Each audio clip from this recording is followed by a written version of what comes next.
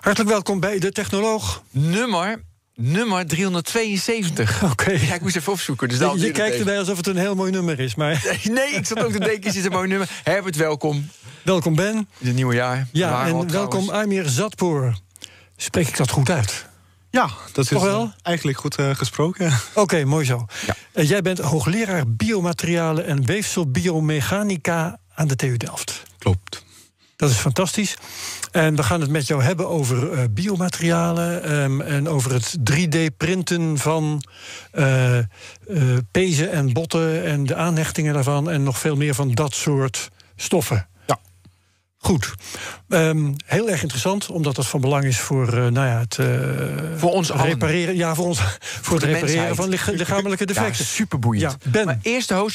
De technologie wordt mede mogelijk gemaakt door Wankxilium. IT-bedrijf Wankxilium brengt structuur en opvolging in de informatiebeveiliging van jouw organisatie en zorgt voor de bewustwording van medewerkers op beveiligingsrisico's. Wankxilium, de IT-partner voor het veilig inrichten van digitale processen. Allemaal naar Wankxilium. Zet hem op. Zo. Die zit. Top. Ja. Printen van weefsels. Printen van weefsels. Ja, 3D. Had ik dat eigenlijk al gezegd? Ja, dat je gezegd. Of had jij dat gezegd? Beginnen. Ja. Hoe doen we dat? Mooi. Uh, Amir, um, dat is dus ongeveer wat jij doet.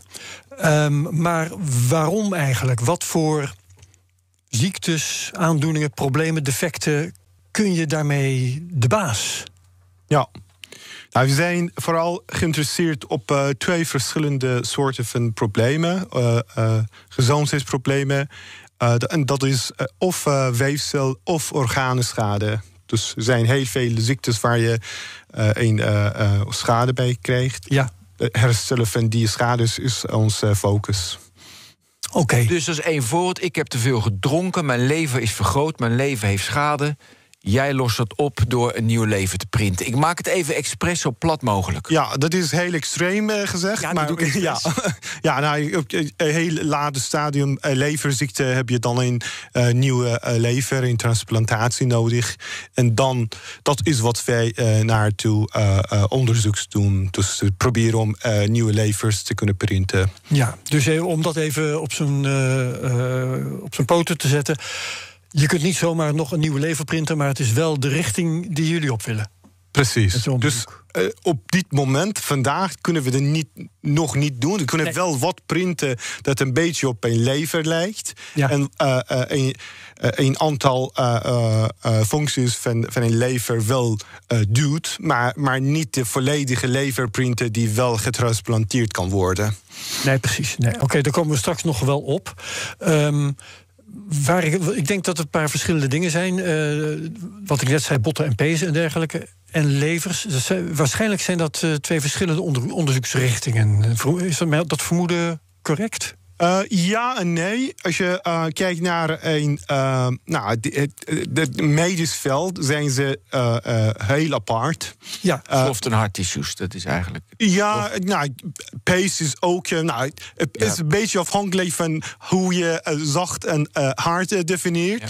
Maar, maar ja, klopt. En, en, en ook qua functies zijn heel, heel anders. Een lever doet metaal, uh, uh, nou, metabolische ja. activiteiten die, die, wees, die andere weefselen niet doen ja. en, en andersom. Pezen dus, en botten, dat is vooral mechanisch. Ja, ja klopt. Ja, dus dat, dat zijn hele verschillende dingen. Nou, is interessant om, om het daarover te hebben straks ja, misschien. Maar tegelijkertijd, qua technologie, zijn, ze, hebben ze heel veel met elkaar te delen.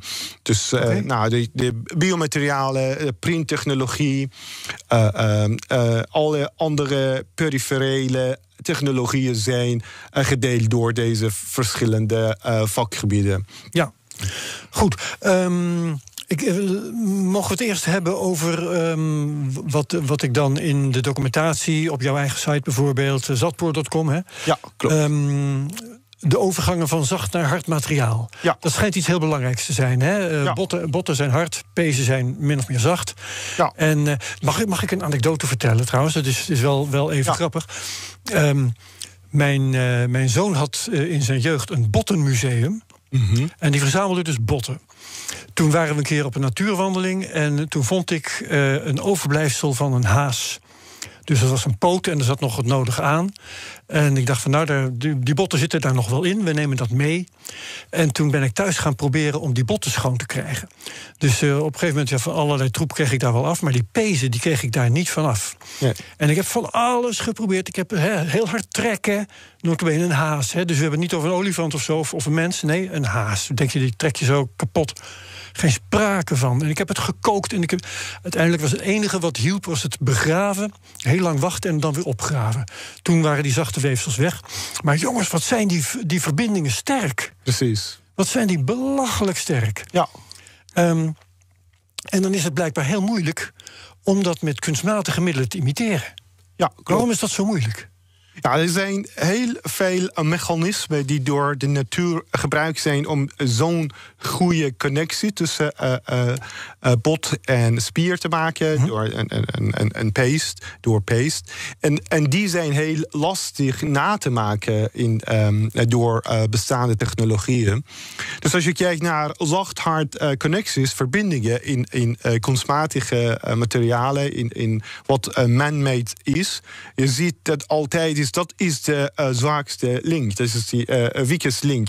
En die, um, nou, dat, dat zie je failure, dat het heel vaak daar gebeurt. Ja, waar, waar je dingen op elkaar lijmt, bij wijze van spreken. Ja, of lijm. Of ik heb uh, uh, jarenlang opladers gehaald van uh, verschillende merken. Ja. En, en, ik maak heel intensief gebruik van die. En wat ik heb gemerkt is dat er is een hard zachte connectie.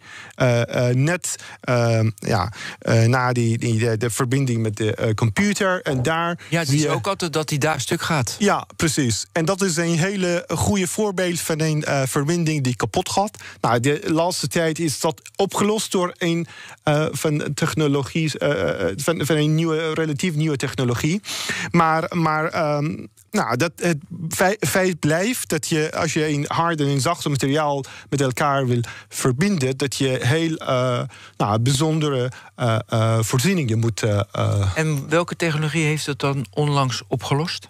Ja, er zijn mensen proberen om uh, uh, nieuwe uh, manieren te vinden om verschil tussen stijfheid van de zacht en harde materiaal zo veel mogelijk te verminderen. Dus de, die zachte en harde materiaal lijken een beetje meer op elkaar. Mm -hmm. en, en, als, als die, het verschil tussen deze twee groter wordt en, en heel um, uh, abrupt gaat naar een uh, zacht of een harde materiaal, dat zie je dat de intensiteit van de kracht, van de mechanische kracht, daar heel groot is. Dat, dat is wat wij stress concentration noemen in oh ja. het Engels. En, en daar krijg je de Dus je maakt dat die overgang smoother. Precies. Maak je langer eigenlijk. Yes. Waardoor die waardoor het zeg maar, sterk Als het langzaam van zacht naar hard gaat, ja. of een andersom, ja. dan, dan is die uh, intensiteit van kracht verminderd. De lokaal, dat je uh, minder krachten hebt. En dat uh, zorgt dat je. Maar dat nou, is geen nieuwe technologie, toch? Dat lijkt me vrij logisch. Um, ja, maar dat is niet, niet zomaar te realiseren dat je die overgang.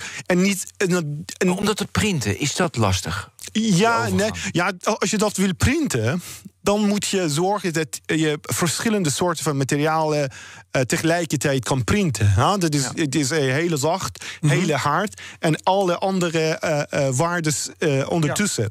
Ja. En, en dus dat is, dat, dan heb je een multimateriaal 3D-printer nodig.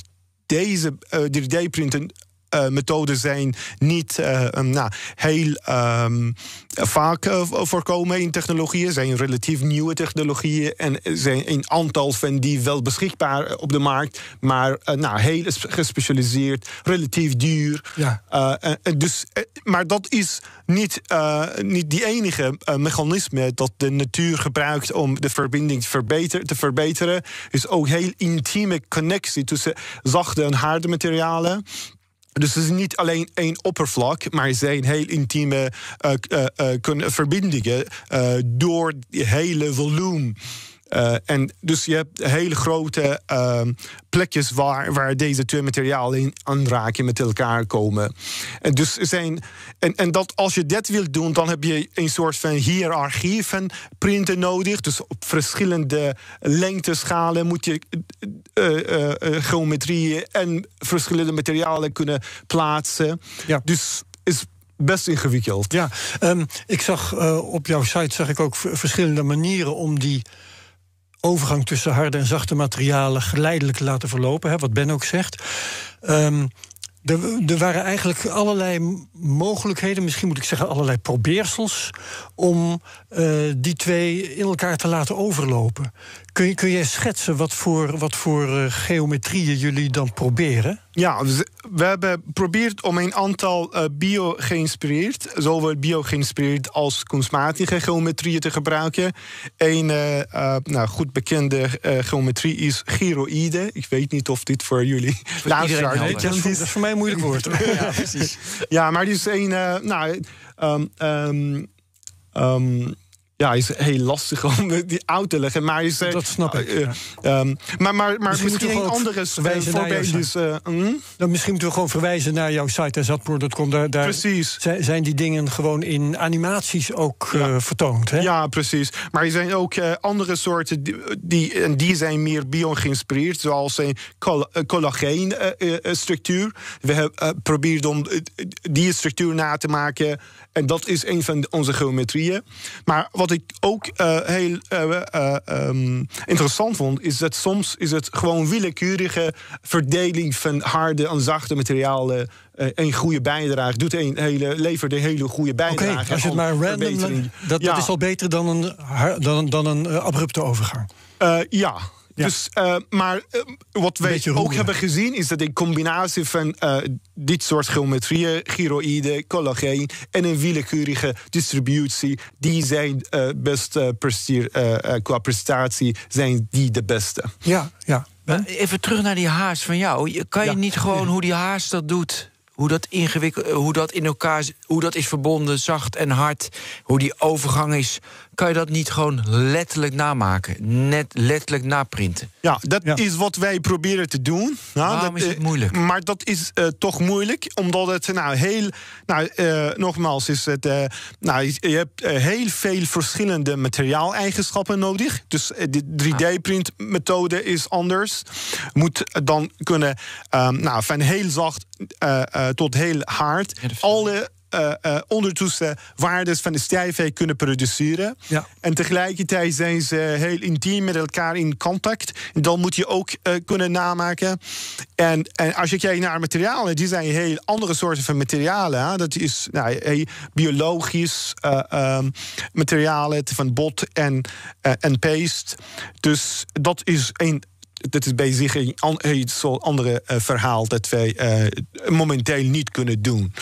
Um, wat voor, wat voor materialen gebruik je dan wel? Want je, je, als je dan hiermee wilt experimenteren. Dus ja, jullie, jullie, kiezen materialen. Normaal met 3D-printing gewoon plastic. En ook soms. Ja. ja. Dus wat gebruiken jullie? Nou, ik, ik, uh, nou, in ons onderzoek gebruiken we heel veel verschillende soorten van materialen. Dus metalen, keramiek, uh, uh, kunststof, ook, ook heel zachte polymer, polymerische materialen zoals hydrogels. Nou, maar oh ja. in dit geval hebben we een, een, soort van plastic gebruikt. Die zijn twee verschillende soorten van plastic. Eén heel hard en heel zacht. Dat, en die twee kon je op een heel kleine schaal bepalen welke van deze twee afgezet is. En, en door combinatie van nou, misschien twee keer dit en één keer dat, eh, of drie keer dit, één keer dat, dan ja. kan je die, die, die, die uh, overgang maken van heel zacht naar heel hard. Ja. Dus nou, de combinatie van een heel hard en heel zacht, uh, afhankelijk van de ratio van deze twee, kan je die eigenschappen aanpassen. Laten, laten variëren, ja. En, en de materialen die je nu noemt, zijn die dan ook uh, biocompatibel? Zijn die te gebruiken voor kunstmatige onderdelen van het lichaam? Um, nou, heel uh, veel van die wel. Metaal en keramieken, uh, heel veel van die zijn wel biocompatibel. Dat wel goed, ja. Nou, dus ook voor implantaten zijn ze gebruikt. Metaalimplantaten zijn uh, heel vaak in, in orthopedische, zowel orthopedische als andere toepassingen gebruikt. Ja. Bij, um, nou, bij uh, kunststoffen is dat, uh, ja, zowel bij kunststoffen als metaal is het anders. Maar in dit specifiek verhaal, dat wij al zacht en harde materialen hebben gebruikt, hebben we niet eigenlijk uh, hele specifiek gekeken naar biocompatibiliteit van deze twee materialen. Dat is van later zorg. Precies. Als je eenmaal toe bent. Al gek genoeg, hard genoeg om die overgang te maken. En, en dat wij niet ja. gekeken hebben naar. waarmee je dus eigenlijk ook al zegt dat jullie nog niet bezig zijn met uh, experimenten in het menselijk lichaam? Of in, zelfs maar in proefdieren? Um, nou, nogmaals, is dat of, uh, afhankelijk van, van welke soort van technologie zij uh, ja. hebben we dit over. Voor dit specifieke technologie niet. Dat is heel nieuw. Het feit dat wij uh, die, uh, bijna die, uh, die prestatie van, van natuur kunnen bereiken, is, dat is heel spannend en nieuw. Ja. Um, maar uh, dat, dus voor die specifieke toepassing hebben we niet gekeken naar, naar uh, een verdere uh, proeven. Of, of, of in, in, vitro of in vivo, dus in, in, in het lab of in dieren of een menselijk lichaam. Maar voor sommige andere biomaterialen die wij ontwikkelen wel. Oké. Okay. Maar uh, ik wil even. Uh, want er wordt toch al toegepast. Een paar jaar geleden, drie, vier jaar geleden, had je toch die, de hersenen geprint in UMC Utrecht. Dat ze een schedel hadden geprint. Ja. Ja, maar op, op zich is dat natuurlijk, of is dat wel spannend? Ik dacht, dat is minder spannend, want ja, dat is, zal gewoon kunststof zijn. En uh, nu is het bot, nu of metaal. Kunststof. Ja. ja, weet je wel, ik weet dat dat kan. Ja, het gaat zijn... meer om hoe je hersens dan gaan functioneren... en hoe de bloed doorloopt. En accepteert mijn hoofd dat? En meer... Ja, zijn, uh, ja, ja en nee. Dus uh, een aantal van dit soort uh, toepassingen zijn al commercieel beschikbaar. Dus je kan gewoon dit bestellen bij een bedrijf. Ja, gewoon een hersenpan bestellen. Ja, ja sommige van die Klinkt wel. echt leuk namelijk. ja, maar, maar ja, dus voor sommige chirurgen zijn al bezig met het gebruik van, van patiëntenspecifieke implantaten. Voor zowel orthopedische als kaakchirurgie. Als, ja, nou, kaak natuurlijk. Ja, ja kaak op maat gemaakt, hè? Ja. Precies. Ja. Dus een aantal van die toepassingen zijn al nou, toegankelijk voor uh, uh, brede publiek. Uh, nou, die zijn wel duur. Dus als je kijkt naar een uh, orthopedisch implantaat die op maat is gemaakt, de patiëntenspecifiek uh, noemen we die, die zijn soms tien keer duurder dan een uh, generiek implantaat. Dus dat wel. Maar uh, tegelijkertijd hebben wij een aantal problemen uh, die, die niet opgelost zijn. Ook uh, voor, voor die implantaten. Bijvoorbeeld is in een aantal gevallen een probleem met de implantaat geassocieerd, gerelateerd infecties. Dus je moet een biomateriaal oh. hebben die niet geïnfecteerd wordt. Ja. Dus ja, het is voor een deel opgelost, maar er zijn veel andere problemen dus die nu, nog opgelost moeten dus worden. nu als ik die, die nieuwe hersenpan krijg... dan is de kans groot op infecties van dat materiaal dat in mij wordt geplaatst? Ja, nee, ja, het hangt van de, uh, van de specifieke uh, omstandigheden van de patiënt af. Sommige patiënten hebben al uh, een, nou, een grotere risico van infecties. Vooral patiënten die, nou, de kankerpatiënten, die hebben een immuun, uh, immuunsysteem is uh, minder, functioneert minder goed. Ja, ja, ja, en daardoor krijg je een hogere risico van infectie. Um, er, zijn, er zijn ook andere soorten patiënten, traumapatiënten, die hebben ook soms een hogere risico van infecties. Dus, en bedoel je dan trauma van mentaal trauma? Nee, gewoon uh, uh, broedforce. Verwondingen. Ja. ja. Ja, ja. Dus uh, nou, als je bij een ongeval dat je um, um, ja, accident, traffic accident, ja, zeker. Ja, precies. Bij ja. die patiënten is een heel brute force trauma. Voor die patiënten is ook een relatief groter risico van infecties. Dus nou, niet alle patiënten hebben een groot risico van infectie, maar één onderdeel daarvan wel. Dus het hangt meer af van de patiënt dan van de, de materialen die je gebruikt. Ja, ja het, sommige materialen zijn specifiek ontworpen om infecties te voorkomen. Dus okay. er zijn ook. Dat print je ook weer mee. Uh, ja, dus nou, dat is. Uh, je kan.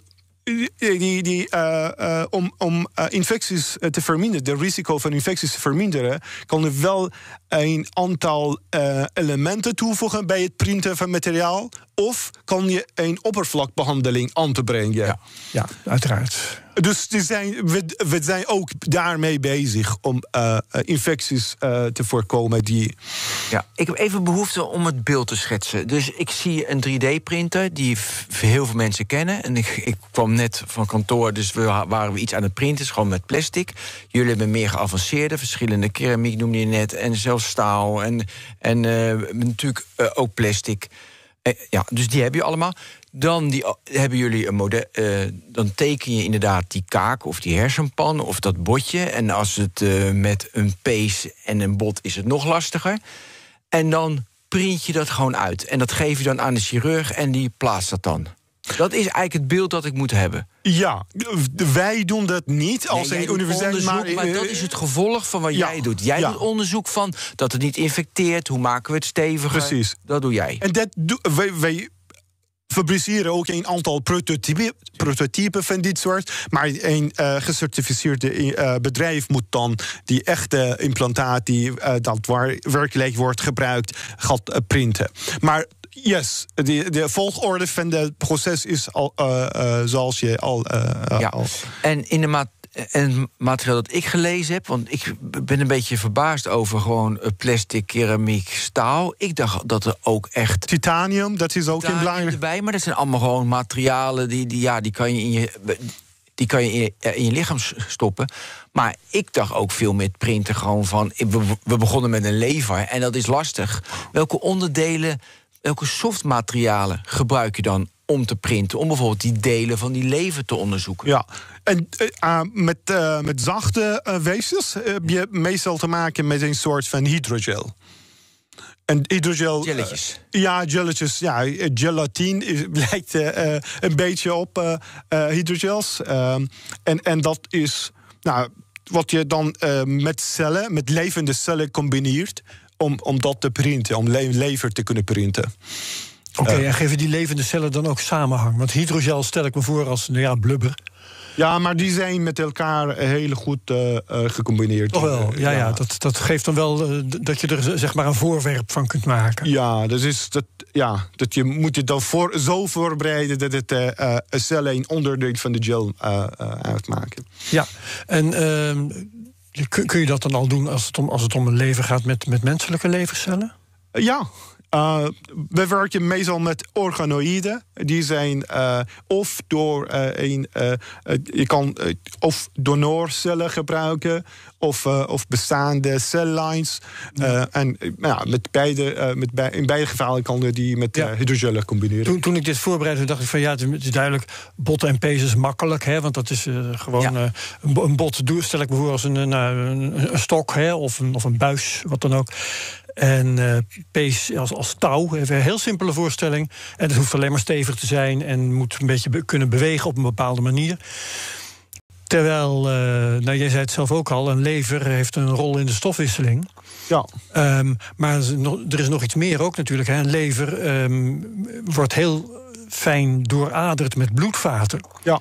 Dus je kunt niet, niet zomaar zeggen: ik eh, maak een homp levercellen en ik stop dat in die patiënt. Nee, er moet ook gewoon een, een heel netwerk in zitten. Hoe doe je Ja. dat met een 3D-printer? Is- Kan die dat ook in detail namaken, zo, al, die, Ja. al die bloedvaten? Nou, dat is eigenlijk een eh, een groot probleem bij, eh, bij bi- bioprinten. Toch Dus wel. opschalen van, van, eh, eh, van die maat van de weefsel dat je print. Ja. Eh, eh, boven een bepaalde eh, eh, maat ehm, is het heel lastig om levende, eh, blijvende eh, weefsels te maken dan cellen eh, in, de, in het center van, van, van, van wat je hebt geprint. Ja, je, kan, je zegt eigenlijk, je kan best sprinten met levende cellen, maar ze in leven houden is nog wel even lastig. Precies, de, de zuurstof, de, de, Ja, die, die, die, voedsel. voedselstoffen, die, Ja. die is heel lastig om daar te brengen. Dus vandaar heb je bloedvaten nodig.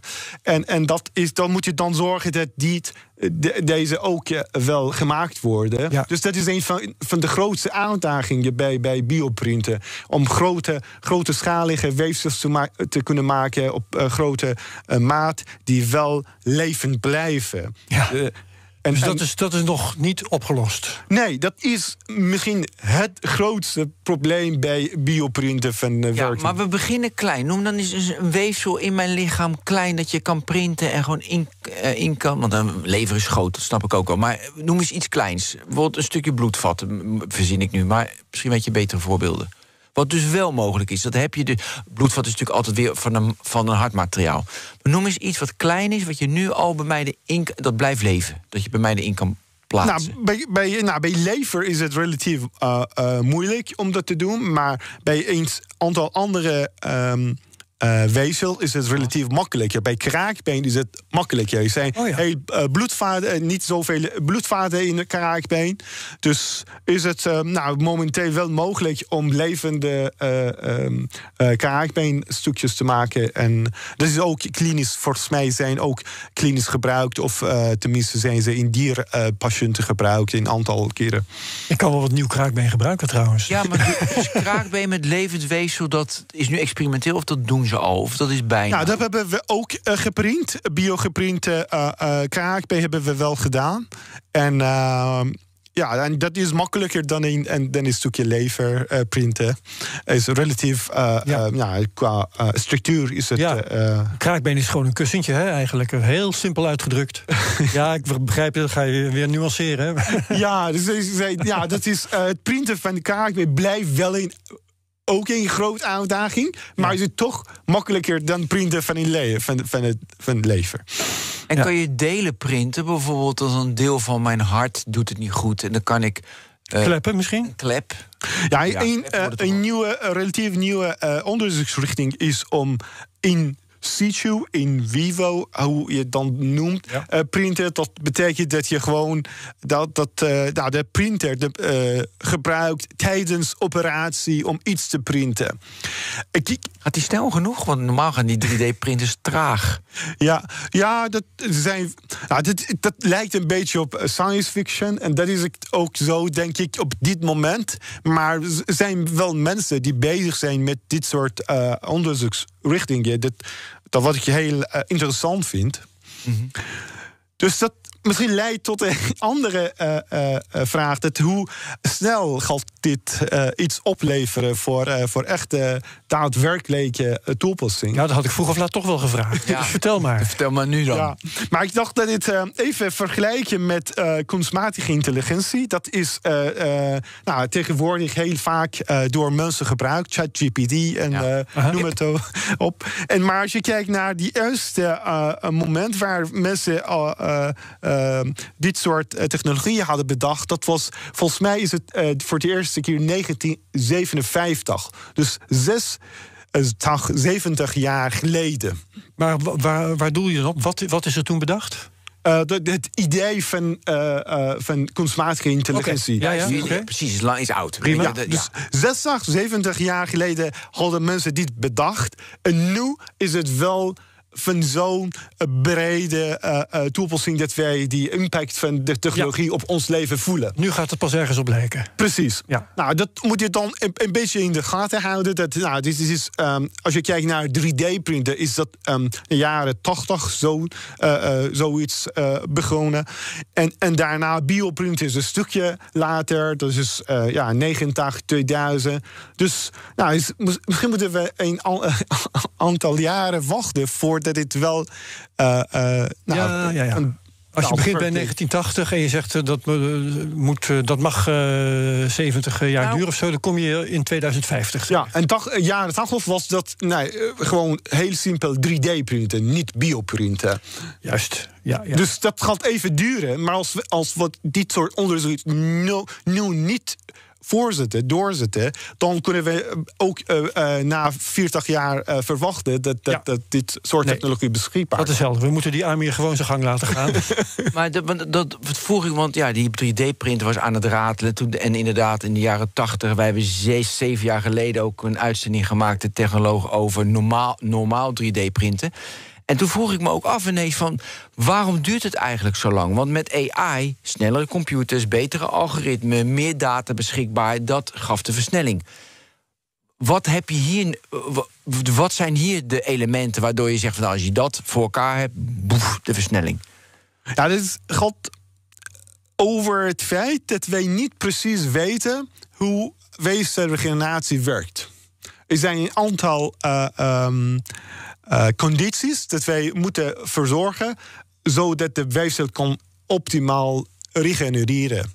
Dus als je mhm. kijkt naar wat gebeurt uh, bij, de, uh, nou, bij, bij, bij, bij, een kind, baby, dat is er twee cellen zijn in het begin en daar die zorgen dat er een volledig menselijk lichaam wordt gemaakt. Maar nou, wat gebeurt ondertussen weten we niet. Dus ook voor, voor, uh, voor adult, voor vol, volwassen weefsels, weten we niet precies hoe moeten, wat, welke condities moeten we creëren voor optimale regeneratie van, van de weefsel. Ja. En, en, en nou, dat is één grote vraag. En de volgende vraag is: als wij dat wel weten, hoe kunnen we zorgen dat wel deze conditie wel gecreëerd wordt? Dus uh, ja, deze twee kanten van het uh, probleem. Uh, nou, bijvoorbeeld weten we al dat, dat, dat bloedvaten heel belangrijk zijn voor. Ja. Maar op, op die daadwerkelijk te maken, dat blijft een heel groot technologisch uitdaging. Ja, en je zou ook kunnen proberen om nou, gewoon een, een stuk een stuk lever te maken. Dat gewoon een hompje cellen is. Zonder meer. Je, bloedvaten, daar, eh, dat, dat, dat vergeten we even. Als maar de bloedvaten er snel genoeg van buitenaf ingroeien. Is dat mogelijk of ben ik nou te wild? Ja, jij gaat hier gewoon de oplossing verzinnen. Ik, ja, ik, ik, help gewoon mee. Ja, ja, mooi. Ja, ik weet niet of die van uh, buiten uh, moeten doorgroeien. Uh, maar, ja, voor mij is, ja, dat wil maar, ik maar of, of, of, binnen de weefsel zelf gaan gecreëerd worden. Maar ja, dat is een heel belangrijk aspect. Dat wij, als wij dit kunnen wel doen, dat we hebben een hele grote stap gezet richting opschaling van, van weefsel. Maar dat is, dus, dat, dat is dus een wens en niet uh, dat daar al stappen in gezet zijn? Nou, we, zijn, uh, ja, zowel wij als heel veel andere mensen zijn bezig met dit -hmm. soort vragen. Om, en, en, en voor een aantal uh, uh, gevallen is het wel gelukt om uh, ook uh, bloedvaten te maken binnen een weefsel. En nou, de opschaling van, van de weefsel is ook op een aantal instanties wel gelukt. Maar over het algemeen blijkt een open, open research question. Dus, ja, ja, en wat ik me ook kan voorstellen is dat je materialen gebruikt met je 3D-printer. Uh, die op de. En, uh, dus, dus je maakt, weet ik veel, een bot of een pees. Of, of een bot met een stuk pees eraan. Want dat, uh, dat lukt dan al een beetje. Um, en je kiest de materialen zo dat ze geleidelijk aan door het lichaam worden vervangen.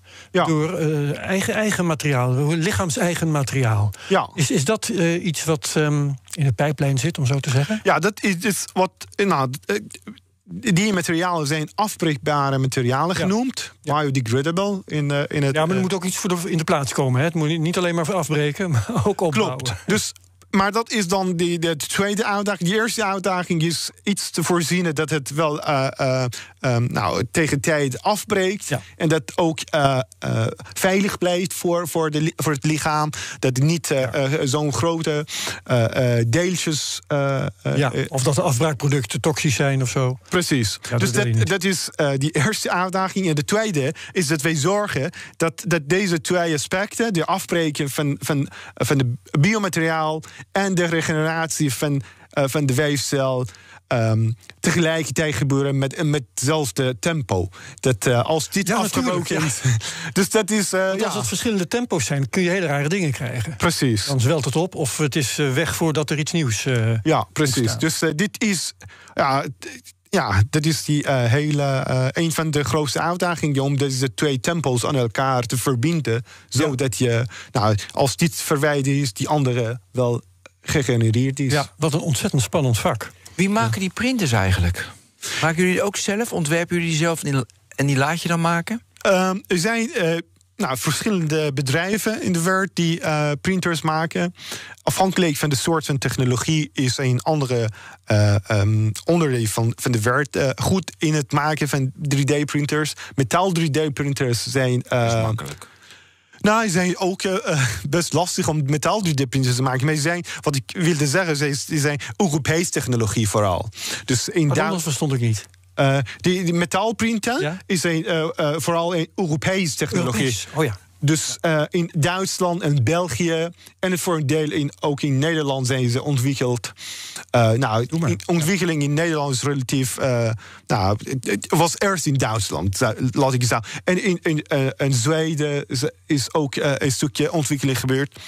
Nou, Um, wat uh, uh, kunststoffen betreft is uh, die VS um, voorloper. Um, dus nou, er zijn heel veel bedrijven die maken. Wij in, in mijn lab, in ons lab, wat wij doen is dat wij een eh, printer kopen en dan eh, eh, de printer aanpassen. Ja.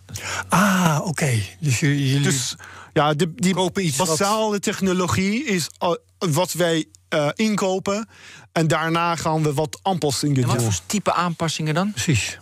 Ja, een heel uh, um, prachtige voorbeeld daarvan is een, uh, nou, die, die heel uh, um, basale 3D-printers. Dus FDM-printers zijn overal te vinden, ook bij spe speelgoedwinkels. dat je kan, ja. ja. maar die heel simpele van die zijn al beschikbaar, ook voor kinderen om mee te spelen. Um, en die hebben een, uh, nou, een arm uh, die, die in drie verschillende richtingen beweegt.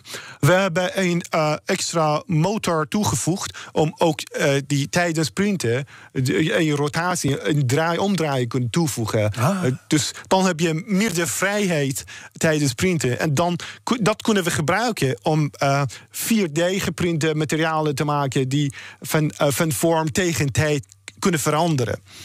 Ja, Ja, dat, daar moeten we ook nog naartoe. Naar stond die- op mijn lijstje. Ja, zeker. Ja, ja, ja, ja. Vier delen. Ja, uh, dat zijn dus 3D-prints die uh, als, als vierde dimensie tijd hebben. Die veranderen in de tijd. Precies. Uh, hoe en waarom? En ja, dus het, het, het idee is dat je het idee van 4D-printen is dat je een extra dimensie van tijd hebt. Mhm. En dat betekent dat je iets print dat in, in het begin een andere soort uh, uh, van vorm en eigenschappen uh, heeft dan uh, na pas na je Ja. uh, externe stimulus. dus een ding dat zichzelf uitvouwt of iets dergelijks. Precies, zelfvouwende uh, um, uh, bloemen. Dat, dat hebben we een, een hele um, prachtige voorbeeld laten zien een paar jaar geleden. Ik zag ook iets, uh, zal wel weer op jouw site zijn geweest. Een of ander uh, steun.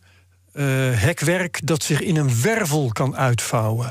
Ja. Om een wervel weer steun te geven. Ja, dus, dus precies. Ik kan dit uh, verand, uh, uh, verandering van vorm en eigenschappen ge gebruiken voor heel verschillende soorten van toepassingen. Ja, ja. Een van die, nou, dat is even terug naar die uh, 3D-print, aangepaste 3D-printers. Omdat wij die extra dimensie, extra rotatie hadden toegevoegd, konden we dan een soort van cardiovasculaire stents te printen, die tijdens operatie uh, kon uh, dan dat opgeblazen worden of, of uh, uh, gedeployed worden, zodat ja. je. nou, dit, en daarna wordt hij groter. Ja, maar dan is dat, dat is wel te doen. Bij, oh, maar in dit geval is het bij twee bloedvaten die tegelijkertijd. is in het cardiovasculair onderzoek is het bifurcation genoemd. Ik, uh, splitsing? Splitsing, yes. Ja. Uh, nou, bij splitsing is het heel lastig om een uh, deployable stand te maken. Maar door het aanpassen van 3D-printers en toevoegen van een extra rotatie... konden we wel iets 4D-printen die dat wel konden doen. Oh, ik dacht dat 4D-printen moet je... Dat, dat het juist het materiaal was dat door een, door een stimulans verandert. Maar het zit dus in het printen en niet in het materiaal. Allebei. Oh, maar vertel even van, nog een keer over die 4D, die extra rotatie. Ja. Ik zie uh, dus uh, een, een, een, vlak waarbij dus uh, heel snel... Dat, dat is het geluid die ik... Ja, ja precies dat ik ken. en, en, dan wordt het opgebouwd. Ja. Dat is standaard. Ja. Nou, dan heb je uiteindelijk heb je een, een, een, een bot. Ja. Een, een hand, of weet ik veel wat. Wat is die 4D? Hoe roteer je hem dan? Ja, dus um, nou, dit uh, bestaat van een aantal uh, stappen waar je die, uh, kan zorgen voor een 3D-vervorming. Dat je van een plakken oppervlak naar een 3D-structuur gaat. En, en en dat heeft te maken met, um, met het printproces, zowel het printproces als het materiaal zelf. Dus uh, bij een uh, bepaalde uh, combinatie van printparameters kan je zorgen dat een filament dat je geprint hebt, dat, dat dit korter wordt. Dat is wat, alles wat gebeurt.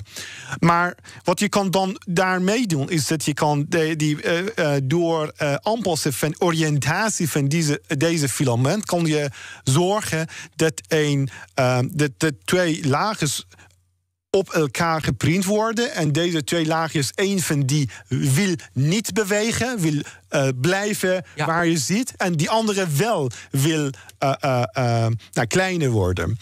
En, en als één van die wil kleiner worden en de andere niet, wat, dan, wat je dan krijgt is een buiging. Ja. Eh, en als je Ja. die Als je buiging. het simuleert dan... Ja, dus strategisch gebruikt in, in bepaalde plekjes, dan kan je eh, zorgen voor een vouwing. eh. Ja, ja, Ja, ja. ja, ja. Oké, dus printen. En dan het materiaal? Nou, de materiaal is. eh, deze zijn shape memory polymers. Dus zij, dat is, zij gehoor hebben van, de, van hun vorm. Dus als je die eh, verwarmt, bijvoorbeeld in heet water, dat die eh, van vorm veranderen. Dus in, in dit geval is het heel simpel. Dat is dat een filament korter wordt. Dat is alles wat dit eh, maar door ehm, nou, een strategische combinatie van deze filamenten op eh, eh, juiste manier, juiste oriëntatie, dan kan je zorgen dat dan de buiging krijgt en de 3D. eh, Ik heb hem. Ja. Ik wil... Ja, maar Ga je gang, ja. design. Want ik, de printer, weet je, hoe Mhm. pas je hem aan? Maar natuurlijk ook het design wat je wil maken. ja. Hoe, hoe ziet dat bij, bij, eh, bij biomaterialen anders uit? Of is dat anders of precies hetzelfde? Als het bij dan je normaal bedoelt idee- de geometrie. Ja, Eh, gewoon, ja, ik moet iets maken en dan, en dan design je iets in je computer van... ik wil dit 3D-model maken, dat stop je in je 3D-printer... en dan gaat die 3D-printer aan het werk. Dat is hoe ik dat ken. yes. Maar je zou waarschijnlijk specifiekere elementen hebben... omdat het met bio is. Ja, wat je kan eh, in het geval van eh, eh, biomaterialen, wat je, je hebt een hele goede bron van inspiratie en dat is de, de natuur zelf. Ja. Je kan altijd proberen om eh, bot na te maken. Dat heeft, bot heeft ook hele nauwkeurige structuur. Dat als je dat namaakt, die structuur namaakt, dan kan je ook zorgen voor hele goede Je, eigenschappen. precies, je design is de natuur eigenlijk. Ja, precies. Maar dat is niet die enige. Je kan ook door, ehm, door eh, eh, berekeningen, door eh, computational modeling, zeg maar, kun je ook zorgen dat je eh, de, die eigenschappen dat je wil kan creëren. Dus het eigenschappen zijn een gevolg van de structuur, van de geometrie. Dus Ja. de vraag is, welke geometrie, welke structuur moet ik eh, ontwerpen... zodat ik die gewenste eigenschappen kan krijgen. Ja. Dus en, en, en daar kan je heel goed gebruik maken van berekeningmodellen... van computermodellen en dit eh, eh, soort eh, zaken. Dan eh, heb ik die alle drie gehad. Dus, dus, dus en het materiaal waarmee je print en de printen en het design... dat zijn toch de elementen? Of mis ik nog een element? Volgens mij niet. Eh, nee, Dat zijn de elementen. Dan is de volgende vraag... Oké, je gaat een... een ja, ik- wat ik dan voor me zie uiteindelijk... Hè, we gaan nu even naar de toekomst toe. Je hebt een hart geprint, een lever geprint. Dat is allemaal materiaal. Maar een menselijk lichaam... En kijk, een bot, niet, daar, zit geen daar zit niks in. Geen intelligentie, niet, niet iets, iets dat, het, oh, dat je gevoel daarbij hebt. Kan je... de- Hoe, hoe, hoe kijk je naar of het echt een materiaal is, een product dat ik print en dat stop je in een mens? En als je dat helemaal doorvoert, dan heb je alles geprint van een mens. Hersens kan niet, dat snap ik ook wel. En lever kan al niet, of over honderd jaar. Maar ik, waar, waar zit van hoe maakbaar het is? Dat het gewoon een materiaal is. Ik geloof namelijk niet altijd dat het. Want een beetje mijn intelligentie is mijn hele lichaam. We hebben het natuurlijk vaak over kunstmatige intelligentie. En dan is het niet vaak. Zit niet alleen in je hoofd. Het is alles. Je gevoel doet mee. ja. Hoe kijk je daarnaar? Ehm, dat is een lastige vraag. Ik denk dat als je een eh, langere termijn eh, eh, benadering heeft, dat ehm, misschien alles maakbaar is. Ik weet het niet. Ehm, ehm, maar ehm, nou, momenteel kunnen we heel beperkt eh, eh, van ons lichaam eh, printen, zodat het wel functionerend is. Dus de functie van, van het lichaam is heel lastig om na te maken. En dat is denk ik de belangrijkste boodschap. Dat wij proberen dat te doen, maar Ja. momenteel kunnen we dat niet. Voor een groot deel niet.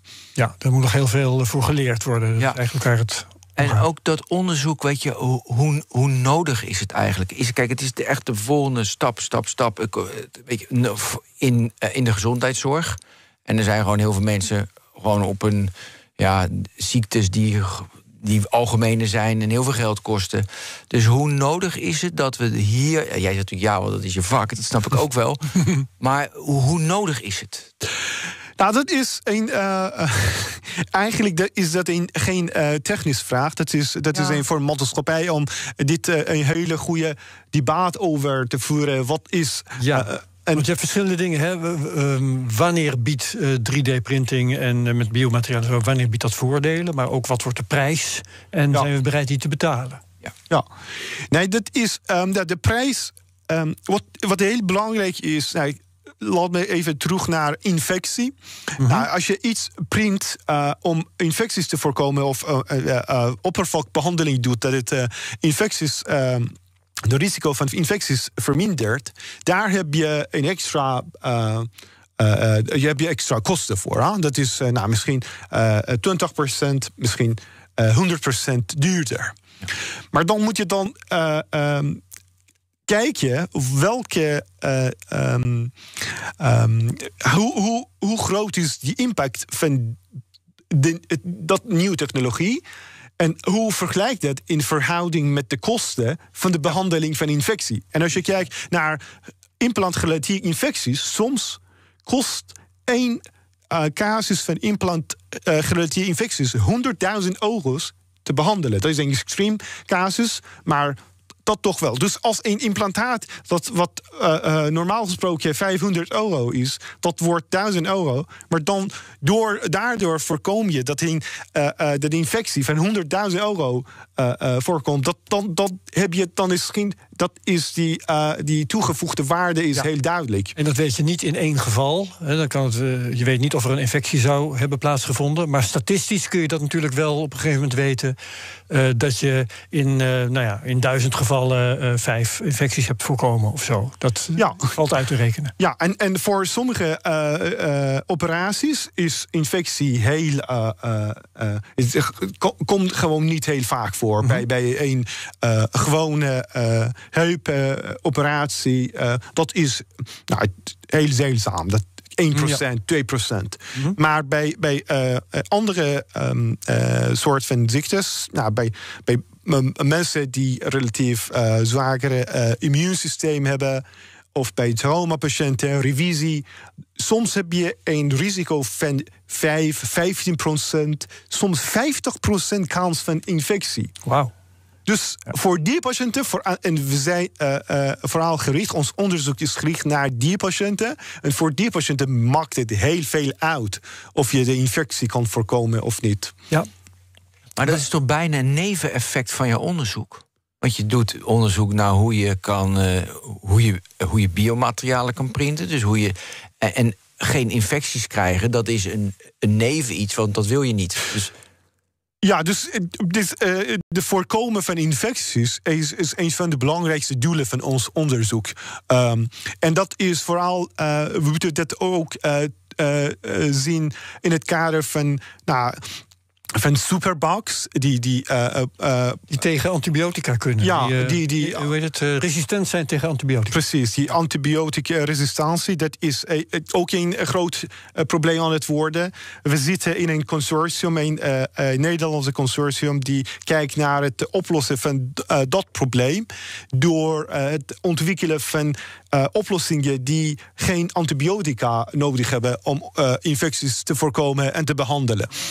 Dus uh, nou, dit is een heel een kerntaak, kerndoel van ons onderzoek in die zin. Ja, maar dat is natuurlijk. Oké, okay, maar dat is natuurlijk niet het. Een, een, een printer, een materiaal, een design maken en het printen. Dat is meer van wat de gevolgen zijn als je iets hebt geprint nou, dat of is, een implantaat brengt. Heel interessant. Er zijn ook printen op een hele kleinere schaal. Dus op uh, nanoschaal, zeg maar. En op die schalen kunnen we wel heel kleine uh, uh, nou, um, nanopilars printen. Pijlaars. Ik weet zeg niet je, je print op nanoschaal? Ja. Hoe dan? ja, dat kan, dat kan wel. Ja, print op een nanoschaal, ja, dat, moet je, dat moet je dan in, in een microscoop doen. Uh, uh, moet doen. Um, maar dat kan wel. 3D-printen op een hele. Uh, juist een paar nanometers kunnen we op die schaal wel printen. Jemig. Hoe ziet die printer eruit? Eh, Heel klein. ja, de printer is ei- eigenlijk misschien niet te klein. Is eh, eh, best groot, maar het printproces gebeurt binnen één microscoop. Ehm, dus, daar, dus maar de gevolg van, van dit soort nano-pilaars, nanopilaren, is dat je die gebruikt als eh, mes, een soort van nanomes, om bacteriële Oh, eh, cellen dood te maken. Ah, Dus je dat is heel- gewoon een mes in het hart. Ja, dus de, de, de bacteriële cellen, de, eh, ja, die is heel lastig om Je een, prikt ze lek. ja, om resistantie te ontwikkelen tegen een mes. Is gewoon. Maar kan je niet goed eerst dat gewoon met computersimulaties doen en daarna het, het printen? Dat is.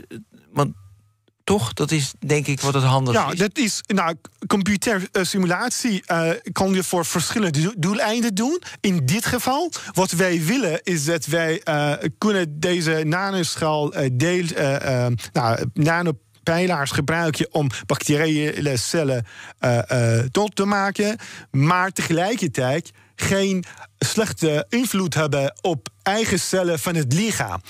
Dus die, eh, die, die eh, geometrie van deze kleine eh, ehm, eh, onderdeeltjes moet heel precies bepaald worden.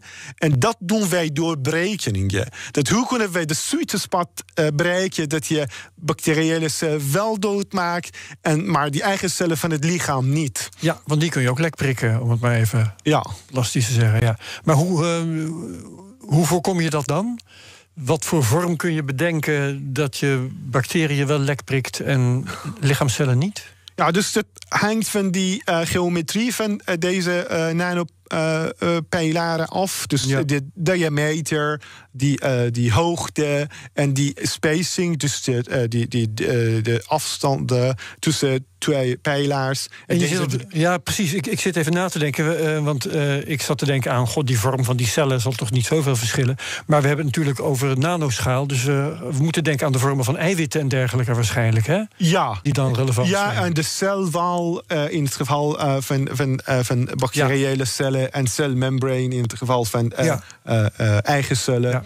Dus de, de eigenschappen van, eh, van, van de cellen die, en, die- en, en die eh, membrane of wal, eh, eh, eh, die en die geometrie van de nanoschaal geprint ehm, eh, nanopijlaars bepalen of, het, eh, of wij die gewenste eh, effecten kunnen wel krijgen. Fantastisch. Ik wil ook weten, als het mag, eh, hoe groot nou dat onderzoeksgebied is. Hoeveel geld gaat erin om?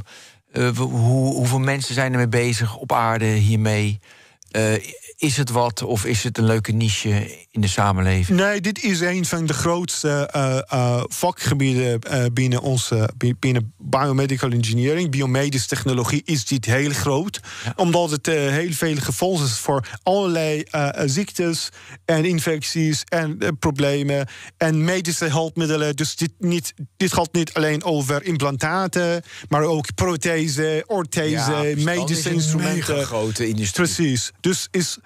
heel groot. Er zijn heel veel mensen die dit gebied werken. Dus niche is het eh, in ieder geval Nee, niet. maar, maar, maar precies, jij trekt nu breder. Ik dacht alleen aan het printen van een, eh, van een, eh, van een bepaald weefselonderzoek. Maar je betrekt het nu heel groter als het zo. Dit is inderdaad. Ja, dus de basaaltechnologie, die, die sleuteltechnologie, is van toepassing voor heel veel verschillende biomedische technologie vakgebieden en, en, en ziektes. En ehm, ja.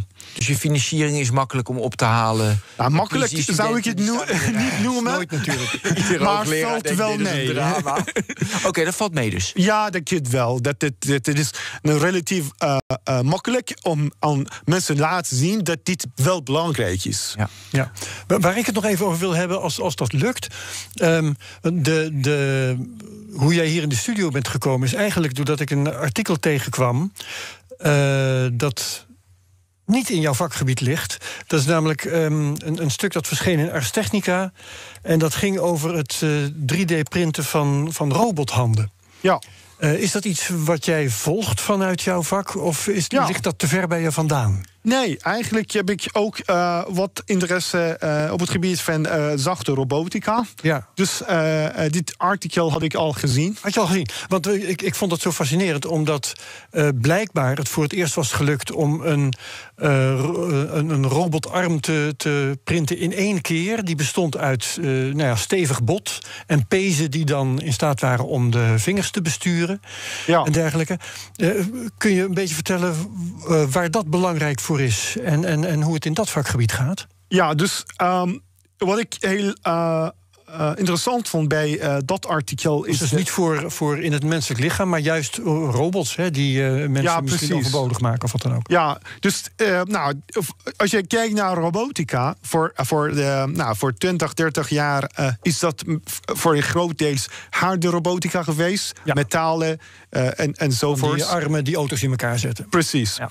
En, en, en relatief recent is het ook, nou, gaat het ook over zachte robotica. Dus zachte robot, uh, robots die, die ook uh, gebruikt kunnen worden. Die ook eieren heel laten als ze ze oppakken. Ja, of, of heel, heel, bekend voorbeeld. Ja. Tomaten uh, sorteren ja, of druiven plukken. Ja. Precies.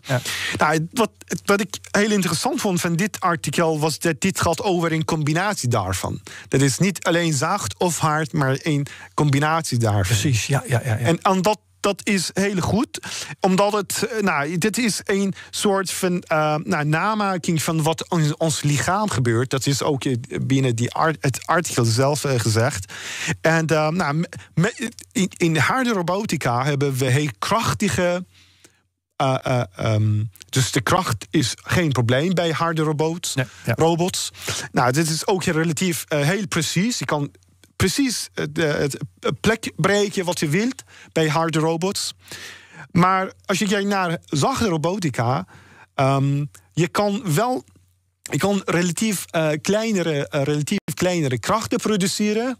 En is het relatief lastig om heel precieze locaties te breken. Ja, ja. Maar als, als je deze twee met elkaar combineert, dan kan je benoemen van, van, die, uh, van de voordelen van uh, zachte robotica. En dat betekent de hele zachte aanraking. Dan kan je ook zachte uh, objecten met, mee behandelen. Dat is heel fijn. Maar tegelijkertijd kan je ook relatief grote krachten produceren. Als het nodig is. En, en, en precieze locaties te breken. En dat is wat ons als Hans goed voor is. En, en dat is alleen maar mo mogelijk als je deze combinatie doet. En, en of met uh, harde of met zachte robotica, is het niet mogelijk om alle deze verschillende soorten van, van functionaliteiten te breken. Ja, en dat is eigenlijk letterlijk waarmee we begonnen met die haars, met die pees en dat bot. Oh, inderdaad. Ja. Ook die combi, beetje ja, hard en zacht. Ja, precies. En dat is wat ook uh, in ons hand uh, gebeurt. dat is ja. En het, uh, ik, ik, begreep uit dat bewuste artikel dat het uh, geheim was een, een, nieuwe manier om uh, in 3D te printen. Ja, dat, dat ben ik niet uh, van overtuigd. Oké, okay, nou, maar prachtig. Uh, haal het maar onderuit. ik, ik, denk dat, uh, nou, dat wat zij laten zien is een hele prachtige manier van 3D-printen. Ja. Maar ik ben niet overtuigd dat wat zij geprint hebben ook met onze technologie niet te printen is. Ah. Dus ik denk dat het wel, nou, dat is fijn. Er zijn een aantal aspecten die nieuw zijn bij, bij, dit, uh, uh, bij deze nieuwe technologie die we, uh, zij laten zien. Maar tegelijkertijd denk ik dat een soortgelijke um, structuur van zachte en harde robotica kunnen wij ook met onze bestaande technologieën uh, uh, ook produceren, ook maken. Ja, ja. En, en wat is de toekomst hiervan nou? Want, want er was bij dat, dat mooie stuk was ook een prachtige foto van die, die robotarm hè, met, die, met die pezen en alles. Um, maar ja, gaat dat voor, voor, voor wat voor werk Zie jij een dergelijke robot? Uh, gaat er trouwens ook nog vlees omheen gedrapeerd worden? Of ja, nee, hoe dit, moet ik me dat voorstellen? Dit heeft zowel medisch als uh, uh, niet-medisch toepassingen. Mm -hmm. ja? Dus, dus overal ge gebruiken wij robots. De industrie gebruikt um, heel veel robots. En die ja. zijn, hebben wat problemen of um, nou, dat ze minder goed zijn in, of in vloeiend beweging. Ja, we kunnen wij goede robots maken die wel eh, goed eh, bewegen. Maar als je kijkt naar eh, beweging, is heel robotachtige. Ja. Zijn Houterig. robots. Dus, Ja. ja. dus Ja. Nou, dit, door deze combinatie kan je heel veel bereiken. me- meer bereiken dan wat jij normaal gesproken kan doen. Dus eh, precieze locatie bereiken, hoge krachten uitvoeren. Tegelijkertijd ook eh, eh, eh, zachte aanraking hebben om, om eh, zachte objecten te kunnen behandelen. Ja. Eh, maar ook vloeiend. eh, ehm, eh, beweging laten zien. Dus er zijn heel veel toepassingen voor dit soort eh, robotica. Ja. En, en dat is niet medisch. En, en tegelijkertijd heb je ook medische toepassingen voor dit. Ook misschien kan je dat, eh, eh, dit, dit soort roboten op een gegeven moment gebruiken voor, eh, eh, voor chirurgie. Die, eh, dat het, eh, nou, Ja. Ik, eh, wat, dat, dat is wel grappig dat je nou net chirurgie noemt. Want wat mij dus opvalt aan eh, vooral de foto bij, bij dat artikel... dat is dat die, eh, die robotarm die, die daar afgebeeld is... die lijkt heel erg op een menselijke arm. ja. En dan vraag ik me af...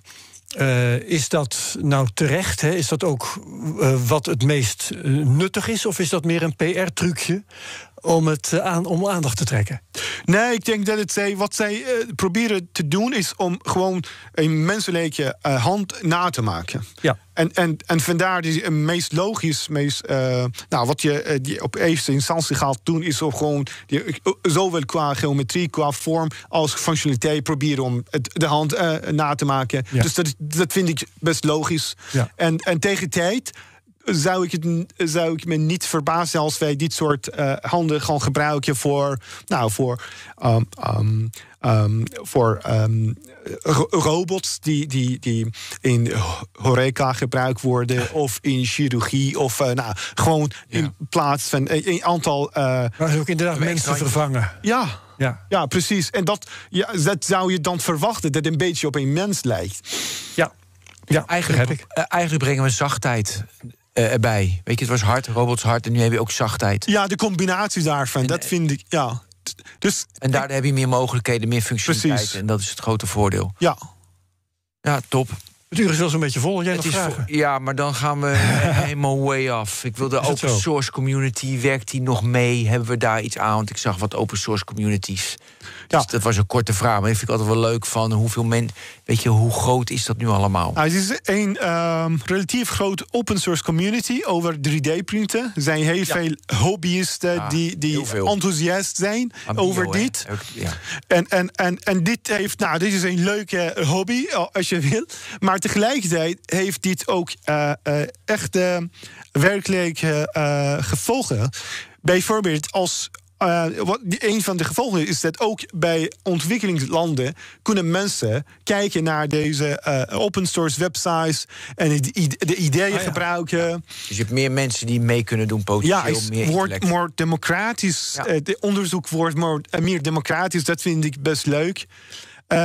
Ik was eh, toevallig was ik een paar dagen geleden benaderd door een eh, eh, paar mensen uit in, in ontwikkelingsland die wilden een 100 dollar hand maken, prothese, handprothese maken. Dus er zijn heel enthousiaste mensen die, die gebruik kunnen maken van dit soort openbare technologieën om, om ook ja, voor hun eigen land, eh, ook eh, als er minder eh, resources beschikbaar zijn, kan je ook door.